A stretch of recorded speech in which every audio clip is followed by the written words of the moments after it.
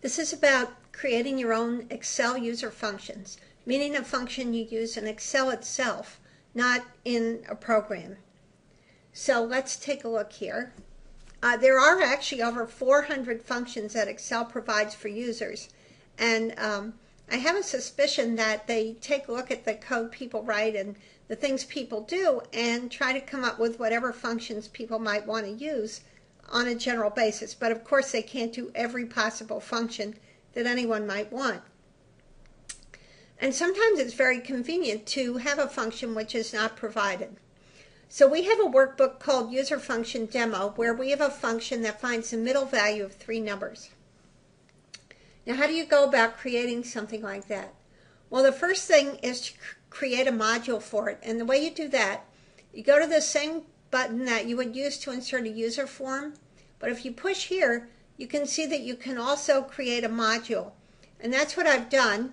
Um, I already did that. And under modules here, I have one called My Functions. And if I view the code, here it is. Okay, so here I've written the code. Um, let's go back for a sec and continue with the presentation. So here I'm showing you that you choose module. And, okay, um, to create the name my functions, you change the module name, which you do right here. So the my functions module, and the only property you have available to work with is the name. Okay. Now, um, once you write the function, its name is going to show up in Excel the same way an Excel provided function will show up. So I named mine middle, and let's look at the code here. I just wrote function middle. It has, um, now this one has arguments, and I think this may be the first time we actually wrote a function with arguments. So let's take a minute to look at that. This one has three arguments. I'm calling them num1, num2, and num3. And those will be the three numbers that we want to find the middle value of. They're all doubles, and I have to say what type each one is. And since this is a function that returns a value, it has a type itself, the type of the value it returns. And here, we want it to return a double. So we put as double, and you'll notice that comes in the header after the end of the parentheses. Okay, now um, I'm going to use one local variable in here. I'm calling it midval and I declared it here. Now here's my code and um, I'll first test to see if it's num2. So what would be true if it's num2? Well then I'd have num1 greater than equal to num2 and num2 greater than or equal to num3. That's one way it could happen if num1 is the biggest one. Or if num3 is the biggest one, it'll be like this, num3 greater than or equal to num2, and num2 greater than or equal to num1. And in that case, the middle value is num2 in either of those two cases. Now, I could have separated these cases, uh, you know, and had four options, uh, one for each of these cases. Might have been a tiny bit clearer, but I wanted to show you a, a really compound uh, conditional, given the stuff we did last week, and also you'll notice that I'm doing a line continuation here because actually this is all logically one big line.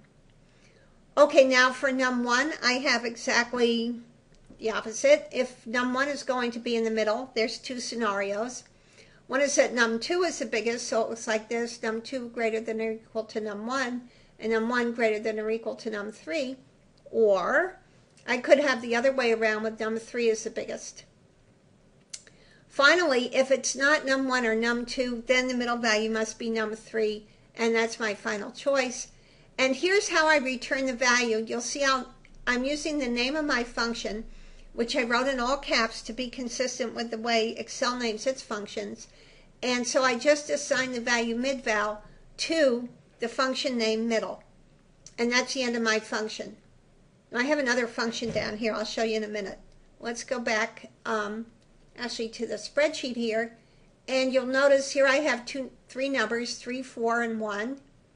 And here I'm finding the middle. So I write equal sign. I use my function middle that I wrote the same way I would use an Excel function. And I have my three arguments, which are the elements in A1, B1, and C1.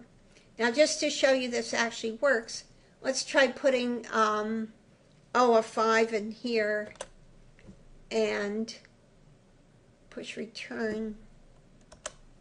And now 4 is the middle value, and you can see it changed it. Okay. So um, very nicely, once you've written your function, its name will show up in the list that Excel presents to choose from when you're trying to show uh, to write a formula. And I just showed it to you in action. Now, you can add a description um, that shows up for the user to tell them what the function does. And to do that, you go to the macros and you type your name. It's not, it doesn't show up in the list here because it's not a workbook macro. It's in its own separate module. Okay, so once I type it, then that gives me a place to write um, my description. And here's what I write. Takes three double arguments, returns the value of the middle one, and I gave an example. And this is consistent with the way the Excel descriptions are. Uh, you can also make a shortcut key, and as usual, if you want to do that, it's great. If you use some function that you write all the time, a shortcut key can be very valuable. Just make sure you don't assign it a shortcut that's already used for something uh, important in Excel, or otherwise you'll interfere with that because it'll use yours, um, presumably. Okay, now there's another nice example I wanted to show you. This one I got uh, from the website exceltip.com, which I found very useful. And I gave a, uh, a credit to the guy who wrote it. And here's the idea. Excel has a weekday function which returns the number of the weekday uh, of a date that you give it. So it takes a date as a parameter and it gives the number representing the day. And what we want to do is have a macro that returns a name of a day instead of a number. So if we come back to our workbook here and uh, go over to Visual Basic, I've got the code here. And another reason I wanted to show you this is that it makes a nice use of the case, the select case, uh, which remember is another kind of conditional that we can use. So here um, I've declared day number as integer. The, the parameter here, the day name, is a date. So this is my function day name. Input date is the name I'm giving the parameter. And um, the value it's going to return, so the date is the parameters type. The function itself is going to return a day name, which is a string. So the type of the function here is string. Okay, so day number, I declared it as integer instead of long because I know it's always going to be a number between 1 and 7. Um, day number equals uh, weekday of the input date. And VB Sunday, this is a parameter you give to uh, Excel's weekday function telling it that you want the week to start with Sunday so that Sunday gets a number one. And then here, I've just written um, my cases. So for each number, I say what the day name should be. And uh, that's it, end of function.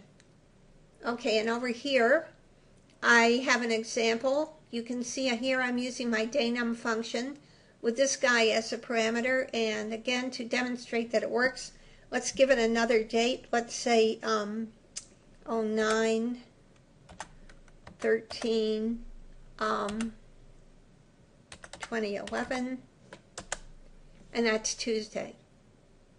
Okay, so um, just another example there. And I just explained the code. This slide has it. Uh, I did. I always give the type of the value returned. There was nothing making me do that, but I think it's important. Uh, again, I'll emphasize the definition ends with end function instead of end sub because this is a function subroutine that returns a value, and so it's a distinct uh, category of subroutine, and Excel notices that by putting the end function. Okay, and I believe I, mean, this is just showing you the example, and that's it. All right.